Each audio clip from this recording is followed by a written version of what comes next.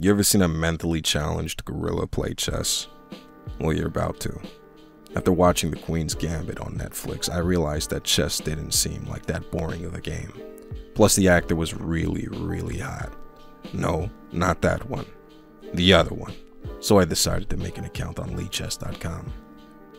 I really, really like gorillas.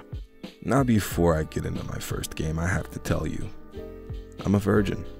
I have never played chess in my life. I did, however, through the tutorial on the website, and I was feeling pretty confident with the knowledge I had acquired. So I get into my first game, and right away I realize we already have a fucking serious problem. This man's name is Constantine, but he spells it without an E. I was fucking angry, but I soon calmed down because I realized he had 2005 in his name, which could only mean one thing this kid was around 16, and I didn't learn how to spell my name until I was 24, so fuck it. I'm white, so I take the first move. I open up with e4, looking to get my grubby hands on the center of the board. Constantine decides we should have a pissing contest in the middle of the battlefield, so he moves his pawn right in front of mine. I didn't like my little homie out there having no protection from any possible threats, so I made this sad excuse of a horse to back him up on c3. Then Constantine decides he wants to play monkey see monkey do and he sends out his deformed donkey to c6. We're only two moves in and I already want to use this kid's favorite puppy as a pinata in front of him, but I decide to internalize the anger and put it towards my next move, f3. Constantine sees that I'm backing up my homie in the center and decides he wants to turn this game of chess into a petting zoo. We now have three retarded horses on the battlefield, and me, having a natural fear and hatred for those demon spawns since I was five, decided I was gonna beat the shit out of one of them. So I put my bishop on b5. Constantine decides it's time for him to move his bishop as well and aims the fucker right at my horse.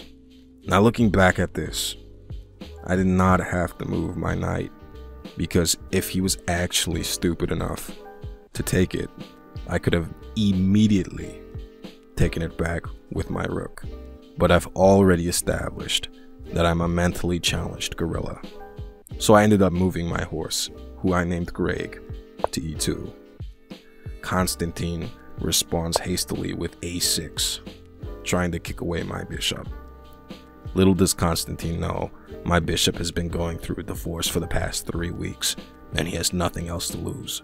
So he beats the fuck out of the horse, ultimately sacrificing himself to the queen's pawn.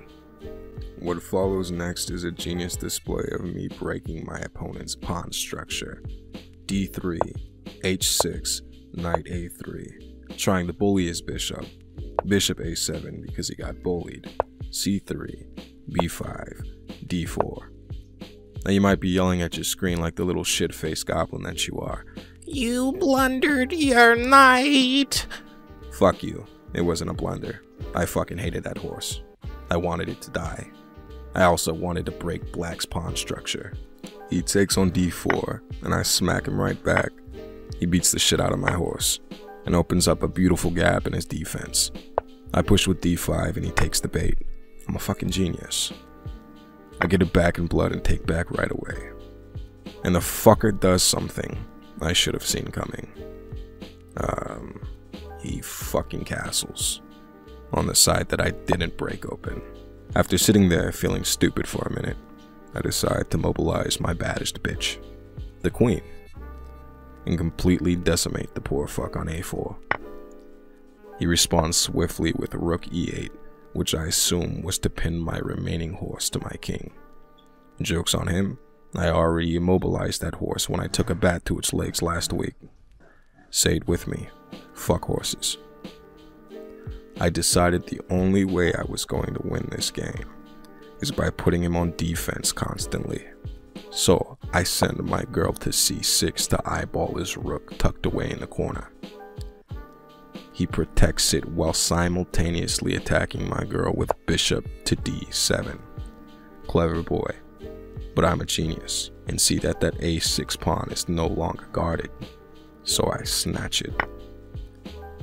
Now I have a question that only requires one brain cell to answer correctly. Where did this mentally challenged gorilla go wrong?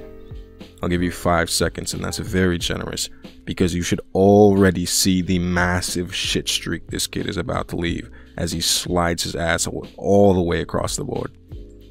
Bishop to f2 check. I'm forced to take with my king. And then he takes my queen. I just lost my girl to a 16 year old kid.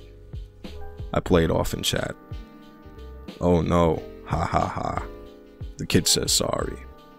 Act nice and tell him it's okay, I need to learn the hard way. But my wife learned the hard way that day.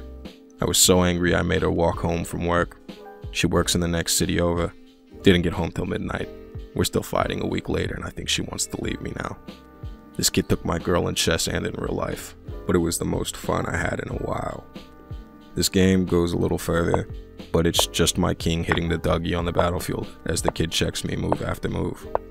My first ever chess game was an L, but it was an enjoyable L. Thank you for watching. Please subscribe if you want to see my journey on becoming the best Pokemon trainer ever. Until next time.